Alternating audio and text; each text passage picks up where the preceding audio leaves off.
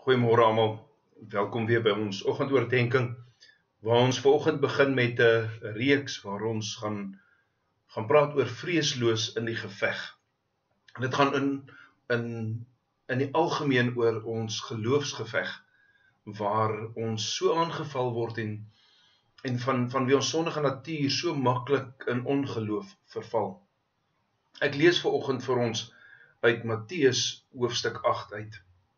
Ek lees vanaf vers 23. Toe Jesus in die skei klim, het sy disippels hom gevolg. Skielik het daar 'n ewige storm op die see losgebars, sodat die golwe oor die skei geslaan het. Maar Jesus het geslaap. Hulle kom toe en maak hom wakker en sê: "Here, red ons, ons vergaan." Hy sê vir hulle: "Waarom is julle bang?" Klein gelowiges. Daarna het hy opgestaan en die wind en die see hard aangespreek en dit het doodstil geword. Die mense het hulle verwonder en gesê: "Watter soort mens is hy dat selfs die wind en die see hom gehoorsaam?" Vir jou en my is hierdie 'n baie bekende gedeelte. 'n Gedeelte wat wat vir ons kom wys hoe maklik ons klein gelowig raak. En daar is geen twyfel dat dat daar situasies in jou en my lewe is wat wat ons elke dag moet trotseer wat ongemaklik raak nie. Vir die disippels in in in hierdie gedeelte van ons geskiedenis is sien die tergende storm Hulle is op die see. Hulle is in hierdie hierdie klein skuitjie. Dis nie die die skepe wat jy en ek vandag ken nie. En skielik is hierdie wind daar in hierdie hierdie branders golwe wat bo oor die boot slaan. Maar vir jou en my kan hierdie storms egter soveel anders wees. 'n Werksituasie waar ek dalk nie gelukkig is by my werk nie, waar ek waar ek voel ek word benadeel, waar ek voel daar word teenoor my kom ons sê gediskrimineer. My storm in die lewe kan 'n finansiële probleem wees wat wat net groter en groter en groter word en ek weet nie hoe om dit te hanteer nie en en nou is my inkomste ook nie wat dit moet wees nie. My storm in die lewe kan 'n gesondheidstoestand wees wat ek nie weet watter kant toe nie. En ja, nou met hierdie virus nou nog dan dan maak dit dit net vir my nog moeiliker want ek het een van die onderliggende siektes. My storm in die lewe, jou storm in die lewe kan 'n diep hartseer wees. Hartseer wat ek spook om te verwerk want want dit eet in my.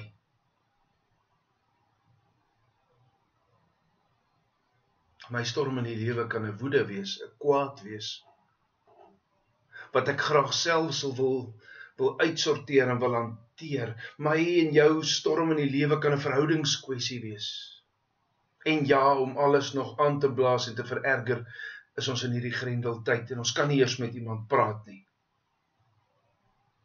Hierdie storm se wind word net nog elke dag 'n bietjie meer aangeblaas.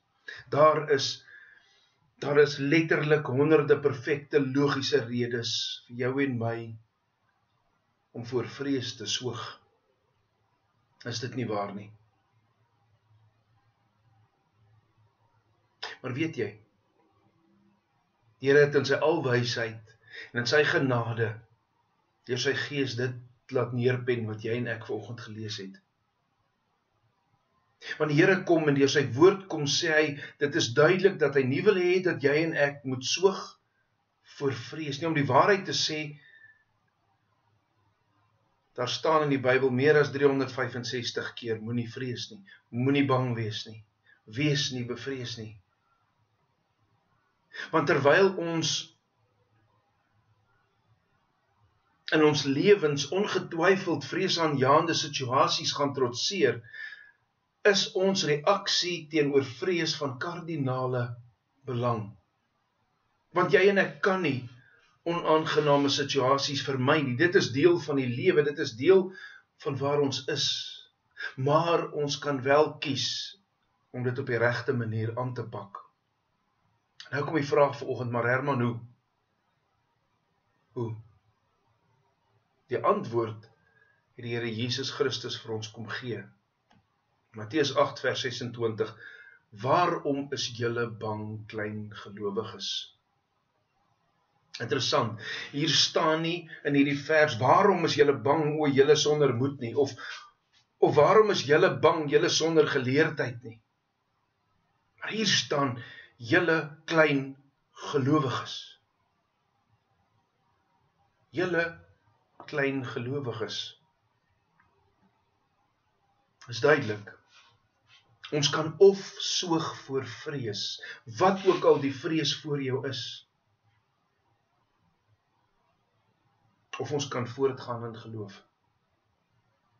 Geloof wat 'n klein skaapwagtertjie Dawid geïnspireer het om hierdie befaamde oorlogsheld twee keer sy grootte te verslaan terwyl die res van die Israelitiese leer gebewe het. Geloof wat veroorsaak het dat Joshua en sy volgelinge 'n vestingstad kon verslaan deur 7 dae lank in stilte daarom te loop. Geloof wat vir Petrus die moed gegee het om uit die boot te klim en op die onstuimige see te loop totdat vrees hom oorval het en en hy gesink het. Geliefde jy en ek moet deur geloof ons vrees vierkantig in die oë kyk. En ja, al voel dit onmoontlik en al voel dit moeilik. En al word ek nog banger, geloof spreek vrees aan. Glo dat die Here God die verskil kan maak. Want geloof gee vir vrees geen ruimte nie. Geloof gee vir vrees nie is 'n vaste vaste plek nie. Vraag is hou jy en ek vas aan vrees?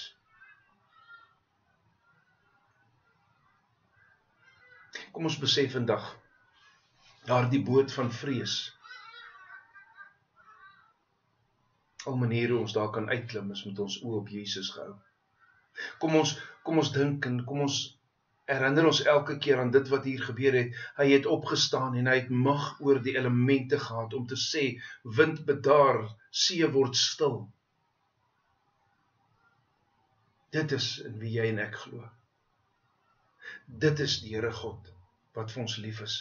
Kom ons bid vandag vir daardie daardie mosterdstaat mosterdsaad groote geloof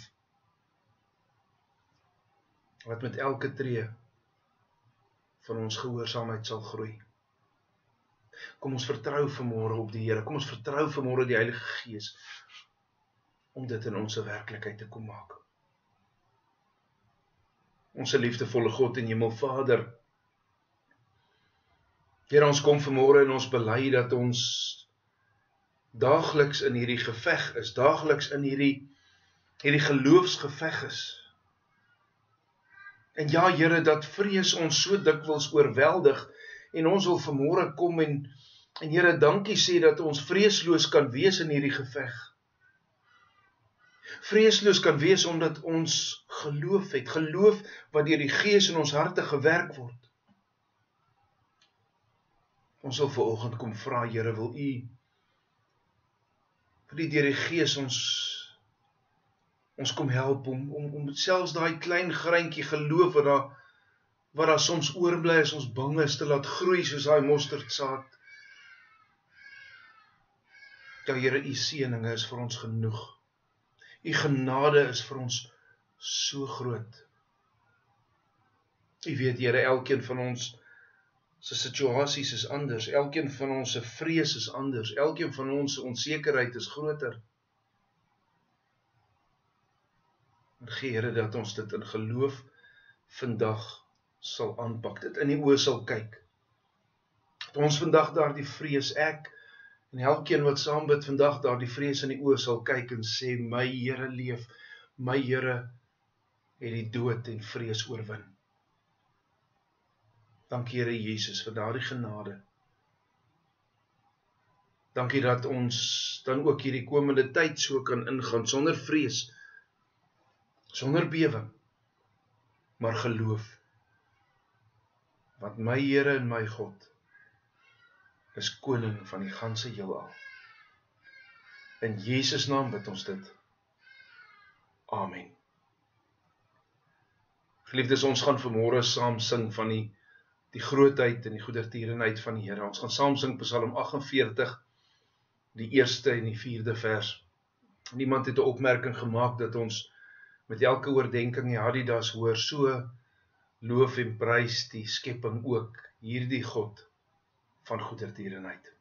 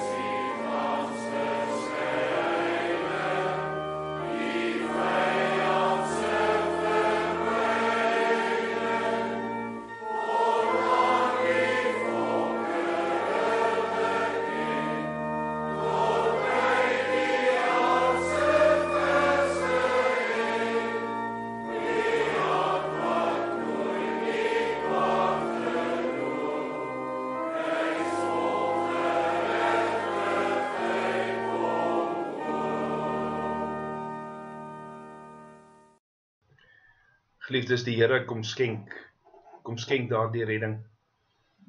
Ons is vandag ook as geseëndes op 'n Hemelvaartdag. En vanaand heelwat eredienste wees wat uitgesaai word. Ek self gaan een uitsaai om 6uur en ons skriflesing vanaand vir hierdie Hemelvaartdiens gaan 2 Kronieke 26 vers 4 tot 16 wees en Jesaja 6 vers 1 tot 6. 2 Kronieke 26 en Jesaja 6 se eerste gedeelte. 6 uur vanaand ons regstreekse Hemelvaart erediens en dan direk daarna om 7 uur het ons weer ons ontdek die Heidelbergse katekismes wat ons verlede week gemis het. Uh ek sien julle daar sien mekaar weer môre oggend. Ehm um, sommer lekker vroeg om 6 uur en dan uh het ons weer ons oordeenking saam. Geseënde dag vir elkeen.